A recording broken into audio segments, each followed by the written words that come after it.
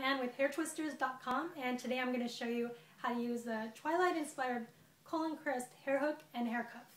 I'm going to start off with a hair hook and what you're going to do is put your hair back in a ponytail and make sure you use an elastic band.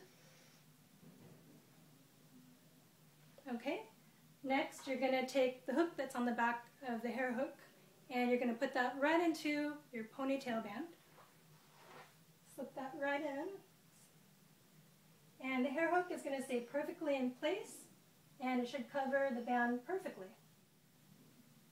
Now if you want something a little fancier, I'd recommend the Twilight inspired Cullen Crest hair cuff. It works pretty much the same way as a hair hook, only it curves around the side of the ponytail. And this works better for a half up, half down hairstyle. So first you're going to go ahead and separate your hair and put it up with an elastic band.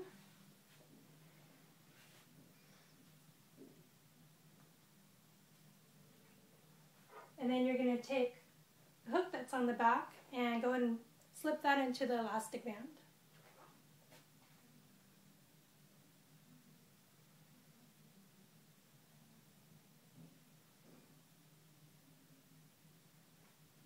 Now if you want to bling it out a little bit more, I'd recommend one of our Twilight inspired hair charms. And I'm going to take Team Jacob here, it's a large charm, and go ahead and fasten that onto the hole that's on the back of the hair cuff and also the hair hook.